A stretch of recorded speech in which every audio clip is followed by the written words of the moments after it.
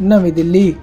1984 ਸਿੱਖ ਕਤਲੇਆਮ ਦੇ ਇੱਕ ਮਾਮਲੇ ਵਿੱਚ ਦਿੱਲੀ ਦੀ ਪਟਿਆਲਾ ਹਾਊਸ ਅਦਾਲਤ ਵਿੱਚ ਉਸ ਸਮੇਂ ਹੰਗਾਮਾ ਹੋ ਗਿਆ ਜਦ ਮਨਜਿੰਦਰ ਸਿੰਘ ਸਿਰਸਾ ਨੇ ਦੋ ਸਿੱਖਾਂ ਦੇ ਕਤਲ ਮਾਮਲੇ ਦੇ ਦੋਸ਼ੀ ਨੂੰ ਥੱਪੜ ਮਾਰ ਦਿੱਤਾ।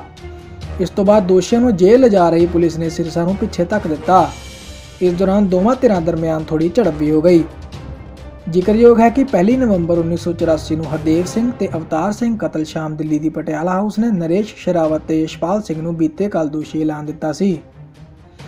ਅਦਾਲਤ ਨੇ ਅੱਜ ਯਾਨੀ ਵੀਰਵਾਰ ਨੂੰ ਆਪਣਾ ਫੈਸਲਾ ਸੁਰੱਖਿਅਤ ਰੱਖ ਲਿਆ ਹੈ ਤੇ ਆਉਂਦੀ 20 ਨਵੰਬਰ ਨੂੰ ਸਜ਼ਾ ਦਾ ਐਲਾਨ ਕੀਤਾ ਜਾ ਸਕਦਾ ਹੈ ਮਾਮਲੇ ਦੀ ਸੁਣਵਾਈ ਤੋਂ ਬਾਅਦ ਜਦ ਪੁਲਿਸ ਅਦਾਲਤ ਦੇ ਹਾਤੇ ਵਿੱਚੋਂ ਦੋਸ਼ੀਆਂ ਨੂੰ ਜੇਲ੍ਹ ਲਿਜਾ ਰਹੀ ਸੀ ਤਾਂ ਸਿਰਸਾ ਉੱਤੇ ਟੁੱਟ ਕੇ ਪੈ ਗਏ।